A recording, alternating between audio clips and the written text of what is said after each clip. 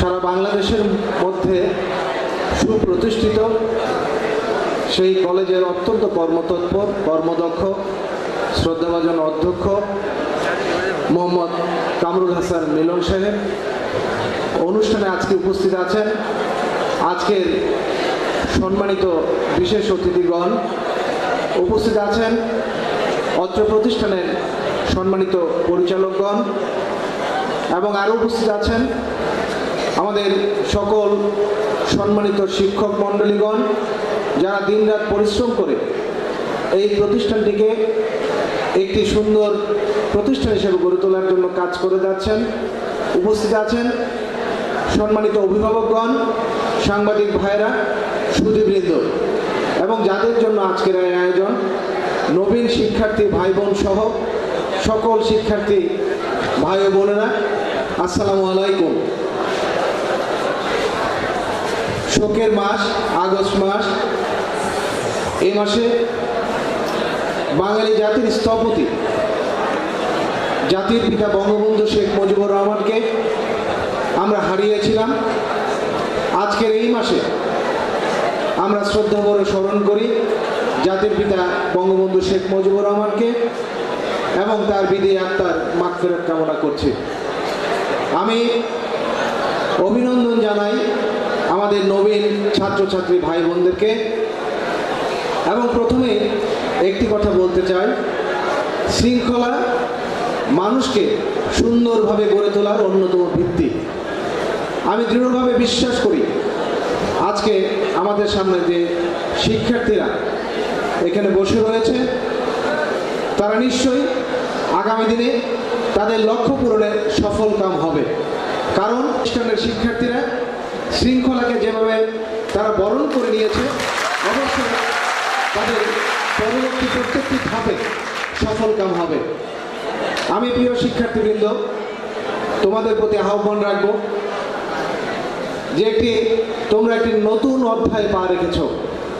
এতদিন তোমাদের মনে রাখতে হবে, তোমাদের শিক্ষা জীবনে যখন পা রেখেছিলে, তোমাদের প্রত্যেকেরই মনের ভিতরে একটি স্বপ্ন ছিল যে আমি বড় হয়ে ডাক্তার হব, আমি বড় হয়ে ইঞ্জিনিয়ার হব, আমি হয়তো বা বড় হয়ে একজন শিক্ষক হব, আমি হয়তো বা বড় হয়ে একজন সরকারি কর্মকর্তা হব, আমি হয়তো বা বড় হয়ে সাংবাদিক হব, বা আমি হয়তো বা বড় হয়ে একজন ব্যবসায়ী বা শিল্পপতি হব।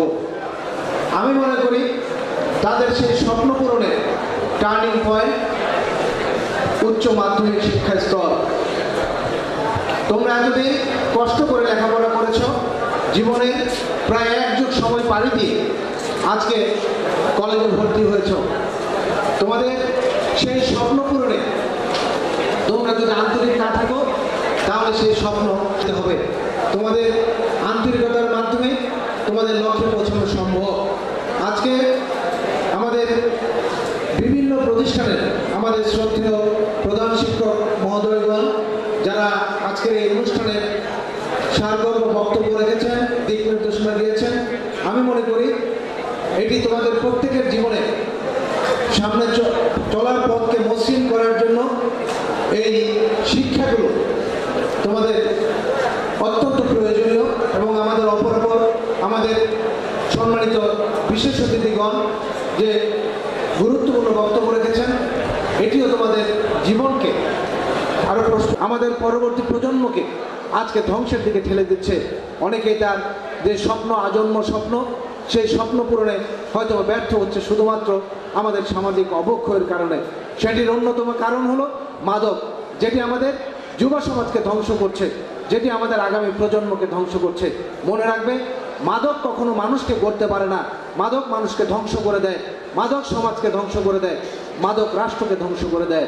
সুতরাং সবসময় মনে রাখতে হবে, কঠোর মনোবল নিয়ে তোমাদের এগিয়ে যেতে হবে, যাতে করে কোনো অবস্থায়, কোনো অংশে, জীবনের কোনো অংশে যেন মাদক তোমাদের স্পর্শ করতে না পারে। আমি আরেকটি কথা তোমাদের স্মরণ করিয়ে দিতে চাই। আমরাও যখন কলেজে পড়েছি, আমরা দেখেছি আমাদের যারা সহপাঠী ছিল, আমাদের বড় ভাই যারা ছিল, আমরা দেখেছি যারা মাদকের প্রতি আসক্ত ছিল, আমরা তখন হয়তোবা আমাদের সেই সময় আমরা মাদকের কুফলটুকু আমরা হয়তোবা আমরা হয়তোবা, ততটুকু আমরা হয়তোবা বুঝতে পারতাম না। কিন্তু আজকের এই সময় আমরা যেটি লক্ষ্য করছি এবং জীবনের বাস্তবতা, যারা ওই সময় মাদকের প্রতি আসক্ত ছিল, আজকে অনেকে এই পৃথিবী থেকে বিদায় নিয়েছে, অনেকে বিকলাঙ্গ, অনেকে দাঁড়ে দাঁড়ে আজকে ভিক্ষার ঝুলে নিয়ে ঘুরছে। অর্থাৎ তাদের জীবন যারা বেঁচে আছে, তারা ধ্বংস এবং যারা এই পৃথিবী থেকে চলে গেছেন তাদের পরিবারকে, তাদের আত্মীয় স্বজনকে চোখের জলে ভাসিয়ে রেখে তারা চলে গেছেন। অর্থাৎ যারা জীবনে তারা কখনোই পরিপূর্ণতা নিয়ে আসতে পারেনি, তাদের পরিবারকে সুখ শান্তি দিতে পারেনি। মনে রাখতে হবে, তোমাদের জীবন শুধু তোমাদেরকে ঘিরে নয়, তোমাদের জীবন ঘিরে রয়েছে তোমাদের বাবা মা, বাবা মাকে নিয়ে, তোমাদের জীবন ঘিরে রয়েছে তোমাদের সম্মানিত শিক্ষক মণ্ডলীকে ঘিরে, তোমাদের জীবন রয়েছে এই রাষ্ট্রকে ঘিরে। সুতরাং তোমরা লেখাপড়া করছ, তোমাদের বাবা মা অনেক কষ্ট করে তোমাদেরকে লেখাপড়া শিখাচ্ছেন। অনেকের বাবা মা হয়তোবা রয়েছেন যারা সামান্য কর্মজীবী, যারা শ্রমজীবী, তারাও কষ্টার্জিত অর্থ দ্বারা তোমাদেরকে মানুষ করার জন্য তাদের রক্তকে, তার পানি করে তোমাদেরকে তিলে তিলে গড়ে তুলেছেন। সুতরাং মনে রাখতে হবে, তোমার জীবনটি সেই মা বাবার জন্য উৎসর্গ করতে হবে। মনে রাখতে হবে, তোমার শিক্ষক মণ্ডলীগণ, যারা নিজের পরিবার, পরিজন, আত্মীয় স্বজনকে দূরে ঠেলে দিয়ে তোমাদেরকে মানুষ করার জন্য দিনরাত পরিশ্রম করে যাচ্ছেন। তাদের প্রতিও তোমাদের দায়িত্ববোধ রয়েছে। তারা যে কষ্টটুকু করছেন, যে শ্রমটুকু দিচ্ছেন, এই শ্রমের মূল্যায়ন তখনই হবে যখন তোমরা প্রকৃত অর্থে একজন পরিপূর্ণ মানুষ হবে। ঠিক তেমনি সরকার তোমাদেরকে সেই পরিবেশে গড়ে ওঠার জন্য তোমাদেরকে সহযোগিতা করছেন। বিভিন্নভাবে একটি প্রতিষ্ঠানকে আর্থিকভাবে, প্রশাসনিকভাবে বিভিন্নভাবে সহযোগিতা করে যাচ্ছেন। কেন? যাতে করে তোমরা শুভ নাগরিক হয়ে গড়ে ওঠো। তার উদ্দেশ্য হলো এই দেশকে স্বনির্ভর করার ক্ষেত্রে তোমরা গুরুত্বপূর্ণ ভূমিকা রাখতে পারো। এটি হলো সরকারের উদ্দেশ্য। সুতরাং যেখানে লক্ষ কোটি মানুষের রাজস্বের অর্থ দ্বারা তোমাদেরকে নিশ্চয়তা দিয়ে যাচ্ছে সরকার একটি মাত্র উদ্দেশ্য এই দেশকে স্বয়ং সম্পূর্ণ করা। সুতরাং এই দেশের প্রতিও তোমাদের দায়িত্ববোধ রয়েছে। সুতরাং আমি তোমাদের প্রতি আহ্বান রাখব, তোমরা প্রত্যেকটি স্তরে মনে রাখবে তোমাদের জীবনের সাথে তোমাদের পরিবার, সমাজ, শিক্ষক সর্বোপরি রাষ্ট্রীয় তাকিয়ে আছে। তোমরা যদি কষ্ট, তোমরা যদি জীবনে ব্যর্থ হও, প্রত্যেকের হৃদয়ে সে বেদনার বাণীটুকু বেরিয়ে আসবে। তোমরা যদি সফল হও তোমাদের পরিবার, শিক্ষক, সমাজ সকলের চোখে আনন্দের যে অভিব্যক্তি, সেই অভিব্যক্তি নিশ্চয়ই আমরা সেটি আনন্দ ভরে আমরা উপভোগ করব। সুতরাং আমরা সবাই চাই মানুষের সুন্দর হাসি, সুন্দর মুখ, সুন্দর স্বপ্ন বাস্তবায়নের ক্ষেত্রে আমাদের সফলতা, যেটির মাধ্যমে আমরা এগিয়ে যেতে, আমরা এগিয়ে যেতে পারব, আমরা সক্ষম হব। সুতরাং আমি তোমাদের কাছে আহ্বান রাখব, তোমরা সেদিকটি মনে রেখে তোমাদের জীবনকে গড়বে। আরেকটি আমাদের সমসাময়িক কালের আরেকটি অন্যতম বড় সমস্যা, আমাদের জঙ্গিবাদ, যেটি আমাদের সমাজকে, রাষ্ট্রকে আজকে বিশ্বের কাছে ভিন্নভাবে উপস্থাপন করছে। আজকে মনে রাখবে যে আজকে যারা এই কাজটি করছে, ধর্মীয় ধর্মীয় উন্নয়ন গড়ে তুলতে হলে আমাদের অর্থনৈতিক মুক্তি আমাদের দারিদ্রতা দূরীকরণ, আমাদের আমাদের দেশকে অবকাঠামো উন্নয়ন, আমাদের দেশের শিক্ষার ভিত্তিকে শক্তিশালী করা এবং যাবতীয় সমস্যা দূরী করে আমাদের দেশকে এগিয়ে নিয়ে যেতে হবে। আমাদের এই দেশকে সুখী সমৃদ্ধ দেশ হিসেবে গড়ে তুলতে হলে আমাদের শিক্ষার ভিত্তিকে আমাদের শক্তিশালী করতে হবে। আজকে আমি তোমাদের প্রতি আহ্বান রাখব, আজকে তোমরা এমন একটি শহরে লেখাপড়া করছ, যে শহরটি সারা বাংলাদেশের কাছে শিক্ষার শহর হিসেবে পরিচিত।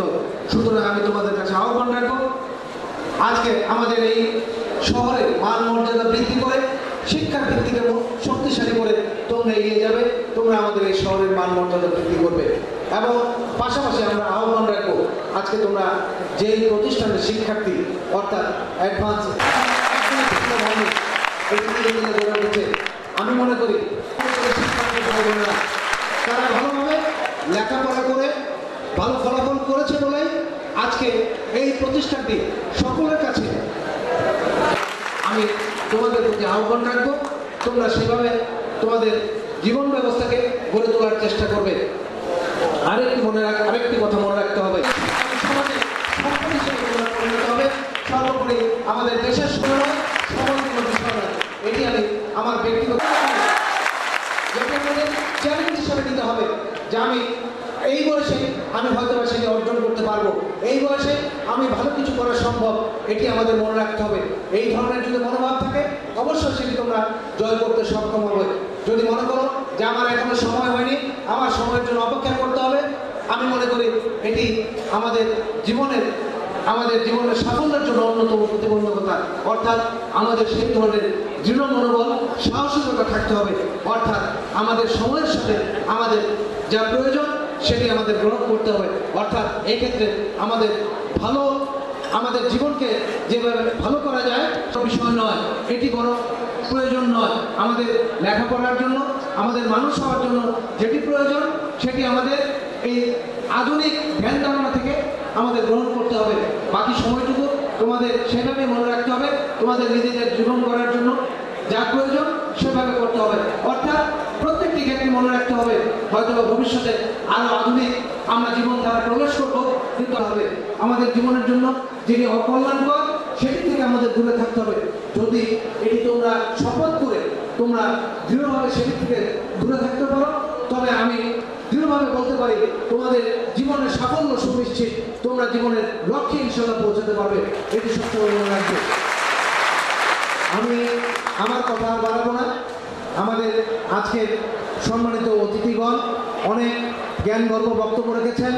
আমাদের ইতিমধ্যে আমাদের মাঝে এরপরে তিনি বক্তব্য রাখবেন। তিনিও একজন মানুষ গড়ার কারিগর। তিনি হাজারো হাজারো শিক্ষার্থীকে মানুষ করেছেন। তবে রাঙিয়ে তোলার চেষ্টা করব। সেই আশাবাদ ব্যক্ত করে সবার সফলতা কামনা করি এবং আমি আবারও তোমাদের সকলের কাছে কামনা করব। তোমরা প্রত্যেকেই নিজে নিজেরা একজন স্টার হয়ে তোমাদের সফলতা কামনা করে আমি আমার বক্তব্য শেষ করছি। ধন্যবাদ সবাইকে।